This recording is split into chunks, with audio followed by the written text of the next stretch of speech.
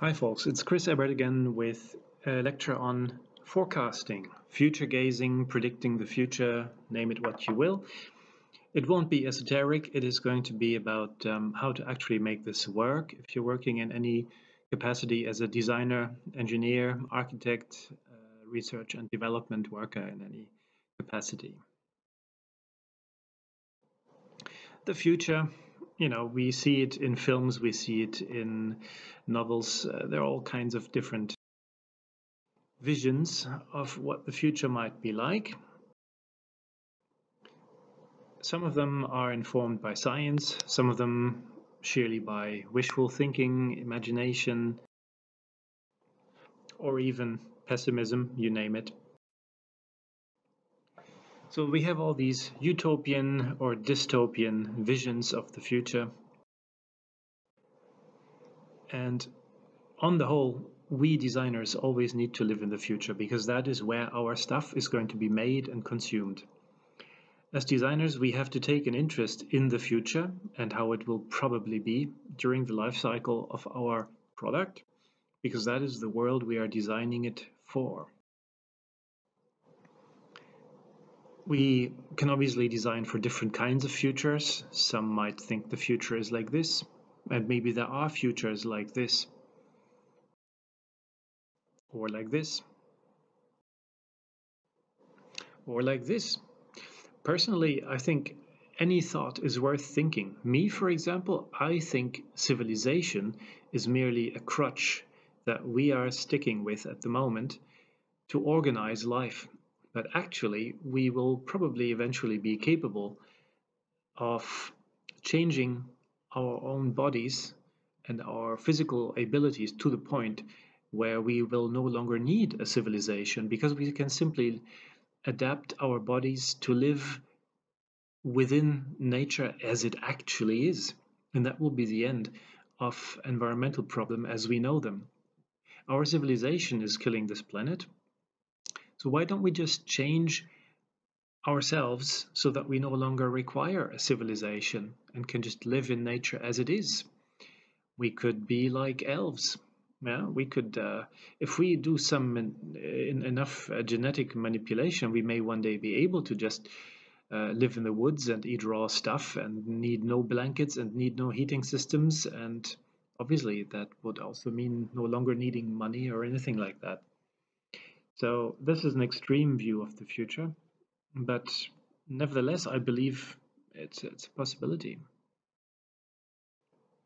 So let's look at some techniques that are being used by industry and by interesting people who have managed to forecast the future successfully in the past. You may have heard of Isaac Asimov, a science fiction author, who made a few unsuccessful future predictions from 1964 about 2014. He also made a few successful ones, but I'll show you the unsuccessful ones first.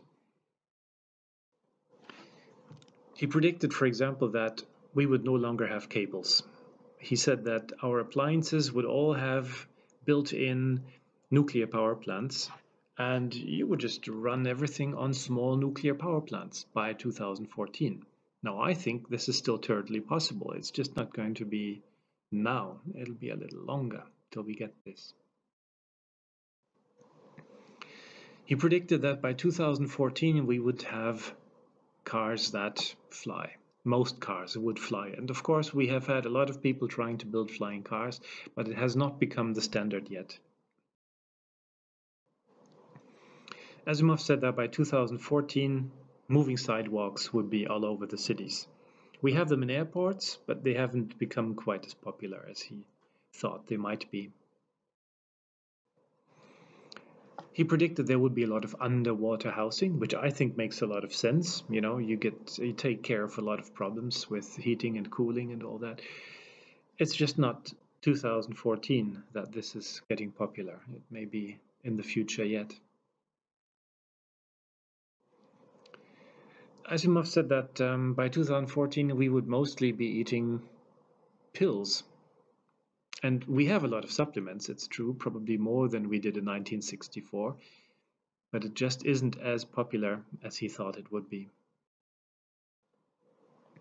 He also predicted that everything in terms of drudgery and work would be taken care of by machines, and that therefore the main problem of mankind would be boredom, and people would just have to find ways to kill time. Uh, this unfortunately isn't quite true yet either. Asimov was right about a number of things, though. He quite accurately predicted things like the GPS, which is satellite navigation, Skype as we know it, um, autonomous cars, smart kitchens, smartphones even, satellite communications, self-parking cars, flat screens and drones. Let's see a few more of these people. Um, arguably, it would have been relatively easy for Asimov from the comfortable perspective of 1964 to predict these kinds of things because you get kind of a hunch of what's in the pipeline. But uh, the people I'm showing you now were a bit further back in history, and what they came up with is therefore a bit more amazing. Jules Verne, Jules Verne in English, was a science fiction author from France who did his writing in the 19th century. And he predicted things like moon rockets and even how they worked. Take a look at these illustrations. We have a several phase unit here going towards the moon. It has the the American flag on it. It is it is clearly landing in the US. And here's what actually happened later. It's pretty amazing, isn't it? So either the people who made the moon rocket read Jules Verne books, or he just simply had a pretty good idea of what it would have to be like. Skype not entirely by that name, obviously, but the concept of being able to communicate in audiovisual media across distance was one that Jules Verne had in the 19th century already. He didn't know how to make it, you know, happen technically, but he just thought, wouldn't it be nice? And I think that is what future gazing mostly boils down to personally. If you have a dream, if you think, wouldn't it be nice to be able to do this? Well, I think the point will come where somebody will do this. we have this famous man, Le Corbusier, an architect, actually originally Charles-Édouard Jeanneret Gris. And he gave us cities like these, and you may not think these are very special, but that's because they have become so popular ever since he came up with this concept. Uh, Le Corbusier had the idea that a city should be a place where you can have millions and millions of people live in a civilized way, a well organized way in a small space. And of course, you want to reach everything by car. And this was put into practice quite quickly. Here's uh, his concept Cité Radieuse in Paris, which introduced this perfectly new living concept for big cities, made sense. He even created some of the interiors, which seem quite modern to us now, but we're talking stuff that's about 100 years old. And he even came up with this kind of office model, which is quite commonly used these days. And this is one of his old architectural models. So Le Corbusier foresaw the kinds of huge cities that we have now in China, in America, in uh, all kinds of places in the world. Here's an image of Shanghai from 2015. You can see that this clearly, um, yeah, echoes the previous slide. So this is exactly what Le Corbusier was envisioning and it clearly works. He may have taken it a little far in imagining that every house will want to be like this and uh, the enthusiasm for this kind of cubicle shaped uh, buildings uh, didn't go quite as far as he anticipated. he just thought that rich people would have houses like these as well. It's not exactly like that now, is it? We still like our vernacular, pretty little things.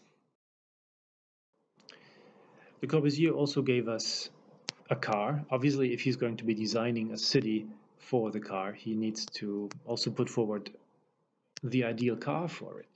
And he preempted the VW Beetle by quite a few decades with this concept.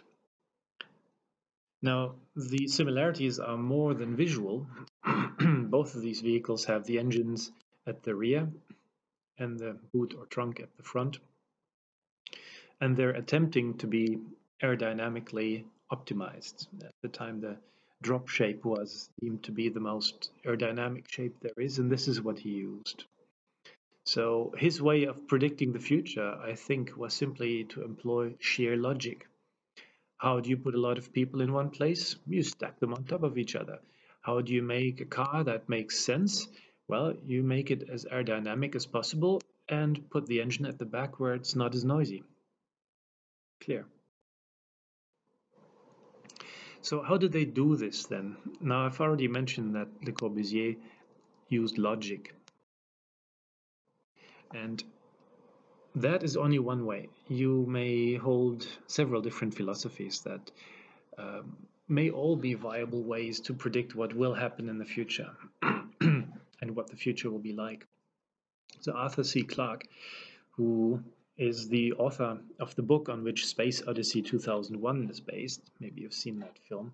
Stunning, actually, that film, because it was made in, I think, 1969, and still you watch it today, it, it looks like uh, current production. Anyway, on the side, um, he says any sufficiently advanced technology is indistinguishable from magic. So this is what he says as a science fiction author. This is how you make it look right as a science fiction author. But I think we designers are also very much like science fiction authors. We are creating a future vision. And where is the best place to look for that? Well, of course, you want the future to do stuff almost as if by magic. So that should be your first thing eh, as a designer. If you don't know yet how it'll be, well, start with magic. What would it be if it were magic? That's a very good starting point because something that is like magic is very desirable and there's a very good chance we actually have what it takes to make it happen. Not by magic, but by technology. Isaac Asimov himself said, all you have to do is take a close look at yourself and you will understand everyone else. What I think he said really with this is whatever whatever wishes whatever desires you may have are probably shared by a lot of people so if you do the kind of dreaming that i alluded to in the previous slide you will not be alone with that gene roddenberry who wrote star trek basically said this simple thing in a better world i can do anything Again, a perfect manifesto for any designer. As we are making a better world, and of course we want to be able to do anything that we can think of. So if you imagine a future, what do you mean I can do anything? Well, imagine you're in a wheelchair, you can walk. Imagine you're a human, you can fly yourself without machines. Imagine you are a pet owner, you can talk to your pet. You know, this is what I mean. Anything, anything you may want, you can do it. This is the future. And if you want that, well, then you have set the brief, and then that is where it's going. It's like driving a car. You will go where you look. So you set the goals, and that's the course. Jules Verne said, Anything one man can imagine, other men can make real. This is something he said when he was criticized at the time of his writing about nuclear submarines and people living in, in sub, uh, submarine paradises, that he may not know how it's done, but somebody will. And that is the truth. There is a good 7 billion of us these days. A few of them might stick their heads together and can probably take something like like these wonderful fantasies he created as, a, as, as, as an orientation point to start something. Syd Mead, one of my favorite illustrators and, and artists, said, I've called science fiction reality ahead of schedule. And this, I think, is also a wonderful thing that applies to us product designers, industrial designers, transportation designers, probably architects as well. Science fiction may be reality ahead a schedule. Um, design is also reality ahead of schedule. So always treat it as if it is the real thing. It's just not here yet. It will be in the future. Einstein himself said this interesting thing. Imagination is more important than knowledge. Knowledge is limited. Imagination encircles the world. What he, I think, meant by this is if you look back as a designer and want to base your design on the existing, you're already uh, giving up the ability to envision and to dream up something new for the future. So, imagining something new is always going to be of more impact than to rely on existing facts. And here's what I would tend to say if you want to come up with the best possible thing, well, simply imagine what the ultimate solution would be able to do. Yeah, like I said, if you're in a wheelchair, the ultimate solution will be that you're not in a wheelchair and that you can walk around like a perfectly normal person. That is the ultimate solution. And between the reality and that vision is your job as a designer to make that possible. And it can be done. So, do we have recipes to predict the future? I am of the opinion we product designers should do something like this. Identify what the design problem is really about. I have so often had students who went, oh, you know, I might just have a water kettle. Why are you going to choose to make a water kettle as a project when that is clearly already the solution? You should do something else. You should look at what the actual need is. Now, the need behind the water kettle is not to have a water kettle. The need is to heat water. And the need is probably to drink that water out of a cup, isn't it? So wouldn't the real need be to have tea? Something that makes tea. So simply pretend that you are like Gandalf and that you're bringing it about. Yeah, forget the water kettle. That's an intermediary step. It's cumbersome thing that somebody thought up once. There might be other ways to get hot water in a cup. How about a cup that has a microwave facility built in? Why not? We can do it. We have it. You know, we, we probably would have been able to build something like this 50 years ago already. We just didn't because people were too comfortable thinking, yeah, water comes from water kettles.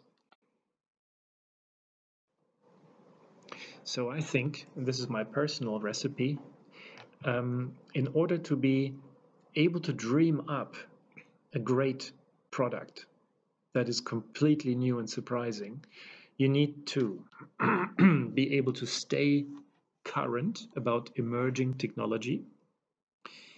Do we know what emerging technology is?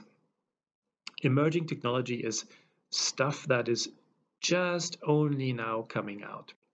And you may not even have seen it in the media yet. You may need to read through research papers to get a glimpse of what that is. Uh, scientists somewhere in some corner of the world may be fiddling with something that could be the next big thing. That is emerging technology, and you'll want to be in the know. And you can find these things by going on places like uh, Google Scholar, even to start with. Um, you may also want to stay current about emerging issues, and that's because you want something that is worth doing and doing it in the right way. So, if you're going to be designing a swimming pool for Australia, you may want to be aware of the fact that water shortages are probably going to become more and more dramatic. So, your swimming pool is going to have to reflect that you will need to stay very critical about current solutions. And what I mean by that is, as a designer, we, we do not say this is good enough.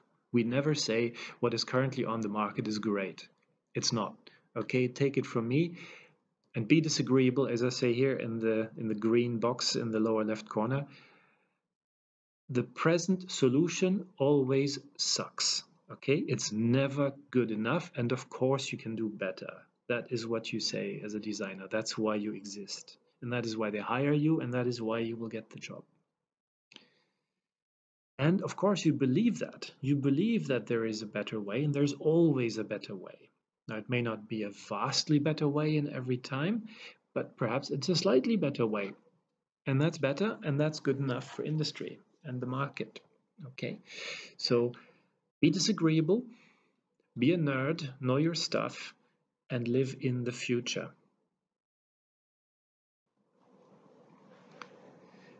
You may wonder when the best time is um, during the time of a project to predict the future. So we have one thing we call the lead time, and the lead time is the first thing we ask about when we are given a new project. So right from the word go, we are concerned. to answer that question from a previous slide, the lead time is how long we have and I have visualized that here for you. This is pretty much how it looks. So if we imagine the project duration as a train following tracks uh, from the past through the present to the future, it will simply make its way along that and there's nothing we can do about it because time has its own dynamics and it will just go right and it will always go into the future, whether we've made the best of it or not. Now, let's be a designer here and design something. And this is what you need to do. The train is coming. You can only judge it from the present because that is where you are. You have to look at the train as it is now. This will make you understand the train as best as you can. You don't really look at it in the past as much. You want to know what the train is now because that is the the accumulation of what the train has become over the course of its past. And then you try to predict what the train will need once it is in the future. And then you've done well okay totally simple concept there's nothing uh, strange about this now let's take a look at how not to do it and I'm pointing this out because uh, so many design students get this wrong. So you're a designer and you're saying let's design something. And then you go okay we're going to make the best train as we know it now. And of course it will move into the future and then you have an old train you know because you've made one for what was then the present and the lead time has basically made sure that you are now yeah stuck with an old piece of uh, equipment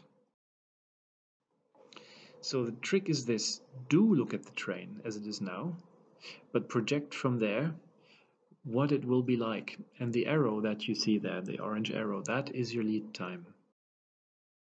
Okay. There are several methods you can use as a designer to predict the future, and these really work. They're called forecasting methods, and you can do some uh, deeper reading on that if you like. This is uh, stuff from the areas of design and product development, there may also be something in sections like urban planning and architecture and engineering.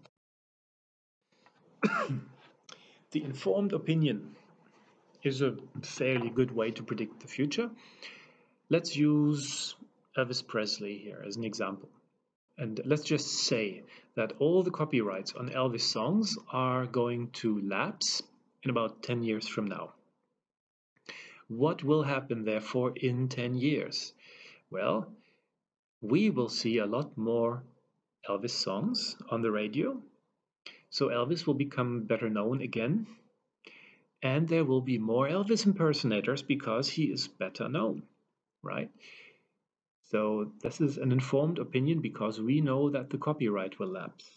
And the opinion is that this will probably make him more popular again because you no longer have to pay for the stuff. And because he's more popular, people will start reflecting and then they have more Elvis impersonators. So here's one future prediction. You could do an average approach. You know, on average, there have always been around 6,000 Elvis impersonator in operation in the world around the year since since, since around the year 16,000, uh, 1960. Um, and, and therefore we can probably assume that this will continue. So this, this method is a bit sledgehammer and, you know, not very subtle, but it's a, it's a starting point. You can say, okay, this is the average. Let's work with that to begin with. The problem with it is, of course, if you've read Douglas Adams's uh, Hitchhiker's Guide to the Galaxy, you'll end up with a situation like the average person in the universe has two heads and 16 arms and owns a hyena or something like that. So it is, uh, it can be a little off, but it's a starting point and it's better than nothing.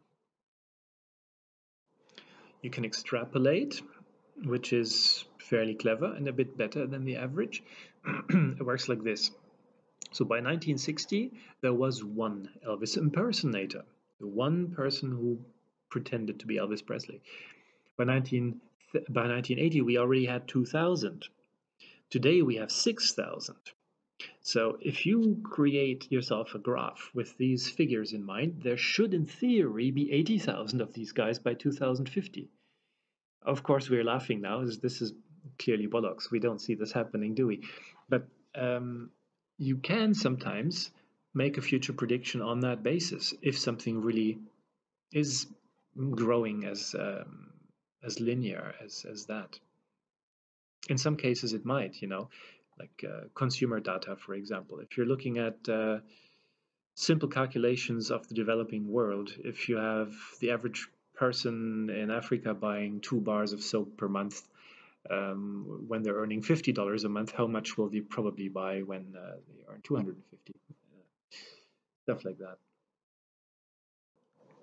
You can do a trend estimation which may mean you're not really looking at how many uh, impersonators there was. You're just looking at the the average dynamics um, of the trend. So if by and large you observe that it's been going down, it'll probably continue to go down.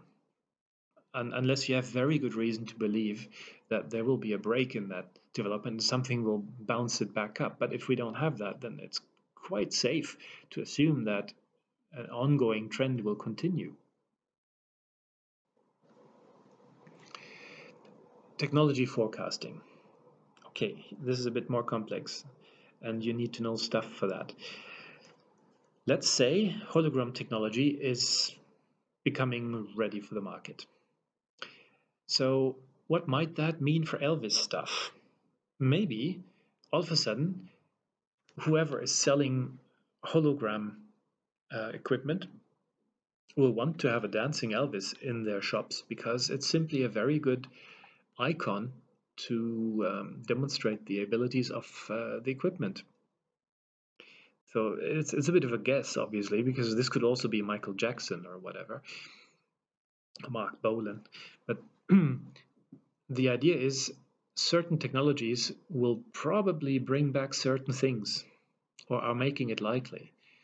So if you're all about marketing Elvis stuff, then uh, you will probably be looking forward to holographic technology because here's your next chance. Or you could do something like this, pattern recognition.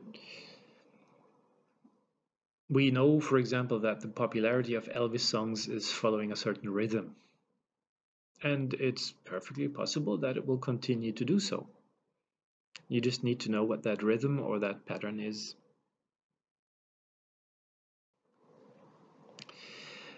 Right, so we have um, analyzed things, we have made predictions for the future. Now we are trying to sell to our team, to our company, to our client that change is necessary and we will need to explain that to them. We will need to justify it.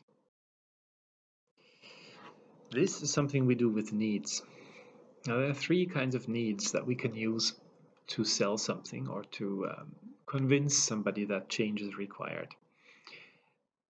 The inarticulate need here is probably the most relevant one to the area of uh, predicting the future because an inarticulate need is a need that your client or customer or consumer doesn't know yet they're going to have. My favorite example here is coffee. I predict that the rise of the sales of electric cars is going to increase coffee sales because there will be so many people standing next to their cars waiting 20 minutes to get up to 80% charge. What do you do when you have 20 minutes standing next to a car? You go off and search for a coffee.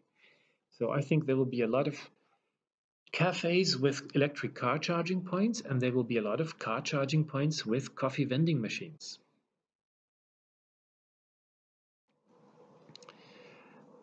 You can also predict the future with old customer needs. If the police has so far been using safety equipment and stab-proof vests and bulletproof vests, it's pretty likely they're going to continue to use stab-proof vests and bulletproof vests. And once laser weaponry becomes available, well, guess what? They're going to have something also that will protect them from laser weapons. So this is one way to tell the future. And then there's the market needs. Sometimes you just need to stay awake and realize what the market demands. If suddenly everybody wears red wigs, well, you better make sure you have red wigs. And perhaps you can even imagine what the red wigs will bring about.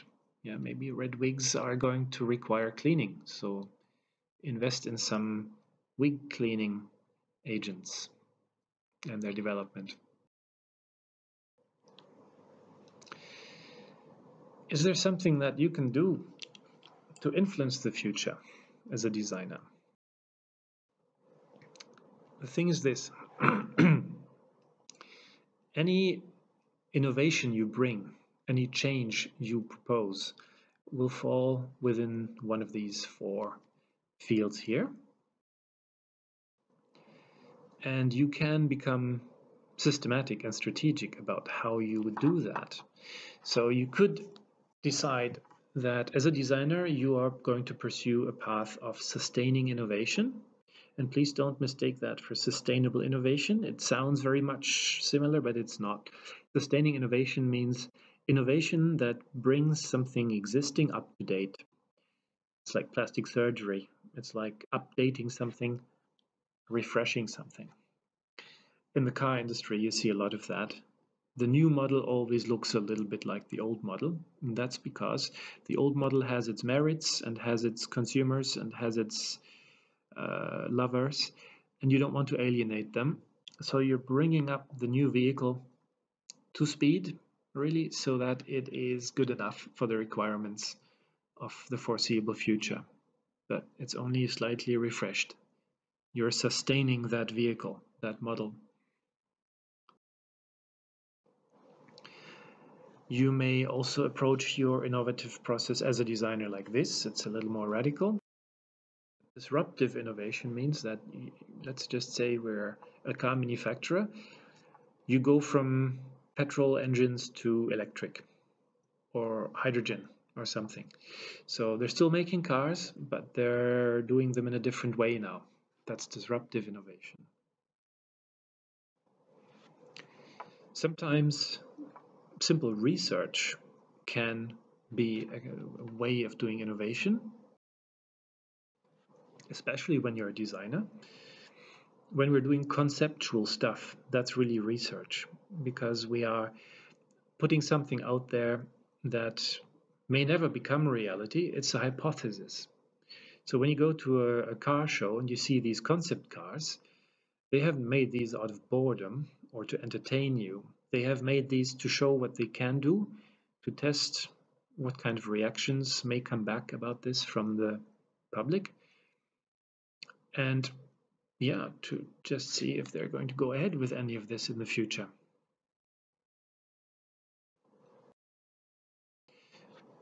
And at last, it may be perfectly possible that in your capacity as a research and development worker, you come across technology that will be a game changer. So if we stay with the car industry here, let's just say teleportation comes up. Well, do you think people will still want cars if you can just beam yourself somewhere? Well, I think they won't. And that is why a totally revolutionary idea is always a great justification for innovation. If something comes about that will completely change the game, you switch to that. And that is then a breakthrough innovation. Okay, so this is an innovation matrix just to help you describe what kind of change you're proposing for the future. Now, if you're going to do it yourself in a systematic way, you can do a lot of things. First of all, you can spy on your rivals. The rivals probably being other companies. And this is quite commonly done, again, by the car industry, by these guys. They are professional photographers who photograph the prototypes that are being tested by car manufacturers in places like Sweden, Nevada, Arizona, which are the usual testing grounds for the, the new vehicles. And they're selling these images to magazines and to other companies. It's worth a lot of money um, so that everybody stays informed. So these guys are basically like spies. You can go to a trade fair, see what everybody does yeah, everybody is, or not everybody, but a lot of companies are quite happy to showcase their capabilities. And if it's not your main rival company itself, it may well be the companies that uh, produce the components for them. So you may not know what your rival is up to, but you may know what company they cooperate with to get their components and just see what they do. Maybe they'll be just as happy to sell that to you. You can do patent searches. If you find stuff patented by a company, you can be pretty sure that they're probably going to use it in future because if you if you're not going to use it, um, you're not going to have a patent. Well, actually, that's not entirely true. You may have a patent um, in order to make sure nobody uses it, but um, it's more likely that a company that patents something themselves are doing it to secure the exclusive right to it. And then obviously you can just read up on it at the patent office and you know what they're going to do. So patents can predict the future to a certain extent. What is patented now will probably see the light of day soon. Car shows I've already talked about. Sorry about the glamour girls. Um, they are pretty, aren't they? But um, this is simply how that business works. They always have all these people. I just grabbed that image from a website. This is a wonderful thing. Um, some people go totally open source. So um, some companies may be giving away their patents. Some company companies may be giving away their ideas. Here's one example of a company doing that. And it may well be um, in companies' interests to give away their ideas so that others are using it, because that helps you create a, a, a broader base, a broader infrastructure for that technology. If suddenly everybody goes electric cars, well, obviously you'll have uh, uh, filling stations everywhere, and uh, it will be a it will be a better world for your technology because everybody is in on it. So open source portals can also predict the future, probably even more so than uh, patents because a patent may stay under lock and key. Open source technology that everybody shares, well, it's probably going to find its, its takers and somebody will do it. Another way for you to predict the future is to get completely coldly analytical and then you use these six different techniques that I've explained earlier to do this. First of all, to build yourself an informed opinion, you just find out what we know for sure. So we know for sure what kind of technology is coming up. We know that because we may have spied on our rival companies We may even have read press releases by our rival companies. We may have read patents by our rival companies or by other companies or by researchers. We know what's coming up, right? If you're if you're into technology, if you're a bit geeky, you will know that stuff.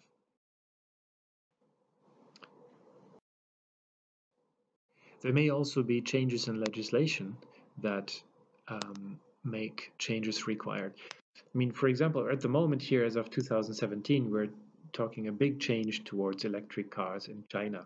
I think they have a goal of selling 20% of all vehicles on the market will have to be electric.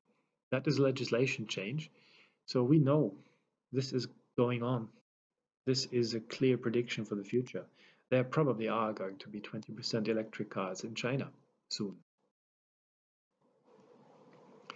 Another thing you can do here is use the average approach. How has it traditionally been? Is there a dominant design? Now, with regards to electric cars, we can say, yeah, there probably has been. Uh, as of 2017, Tesla and Renault are pretty much the, the dominant brands, I believe, in that region.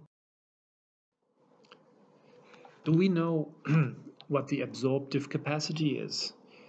You know what the absorptive capacity is, okay? It's um, how ready your context is for change. That means if you're going to bring 20% electric cars to China, you better make sure there are 55 million um, charging stations available as well. So if you have less than that, and I'm just making that number up, of course, but if you have less than that, then your absorptive capacity for that technology is too low. So how ready is your context? That is the absorptive capacity. And do we have any old customer needs that we need to um, look at? And we can probably predict that perhaps the police in China will probably go for electric cars because they have already used electric cars in, in recent years.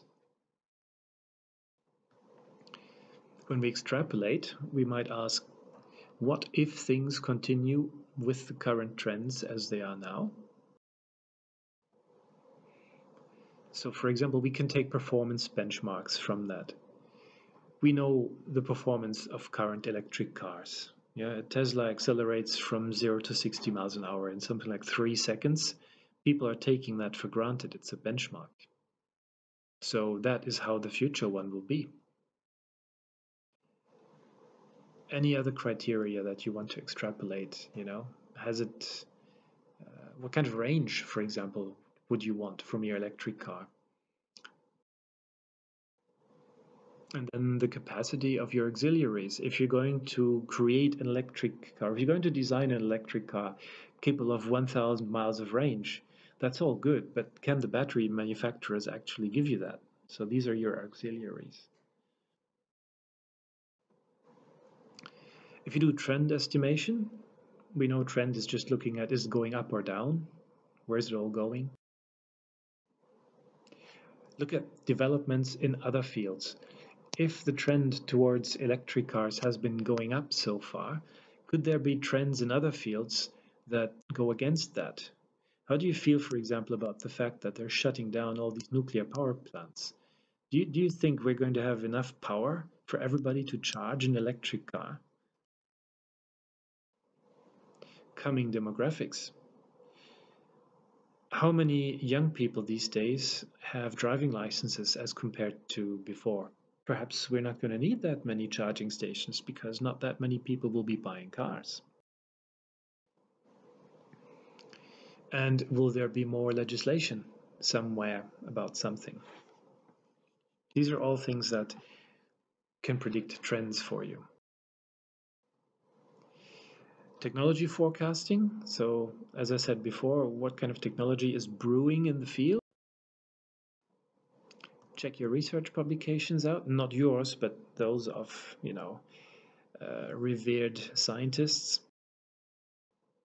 Check out patents go to trade shows. And then do we have any historical regularities that can help us? As the technology S-curve. We know, for example, that any new technology is hot when it first comes out, but then eventually people will get used to it, and perhaps another thing will come up that's hotter. And I'm already predicting that the electric battery car as we know it may only be hot until the fuel cell car really takes off, the hydrogen powered fuel cell car, because that is still a little hotter, a little hotter really. The punctuated equilibrium is something you might have heard about. The punctuated, the punctuated equilibrium basically boils down to somebody will come up with new technology and eventually somebody will do something with it. We are in the middle of that right now. Uh, there are a lot of technologies that are being brought up to manufacturing um, uh, contexts now. And uh, again, the fuel cell, I think, is currently at a stage of its punctuated equilibrium where you can expect to see more of it soon. And perhaps design research can tell us a few things about, uh, yeah, what what may be going on in future. Design research simply tells us um, what everybody is trying. So whatever you did here, you may you may have done all these six. You might just have done one or whatever in between. Um, it boils down to what will be required in future and what will be valued in future. And that is how you forecast emerging needs and emerging values. And then you're responding to that using every source that you can lay your hands on and the synthesis of that. So this, I think, here is, is how to predict the future. And then what will it actually bring, the future? it, it may be partly up to you. You do have a say in this, you know, because you're a contributor. You are in a creative profession, and we are the future makers. But it's not just you, of course. There will be others who make decisions, and there will be there will be factors that will influence it. But I think the main thing to take away from this is what you do, what you put forward, makes a difference. Yeah, it, it's not the same as if you had never said anything when you say something. So I wish you all the best and make sure you have your say about how the future is going to be.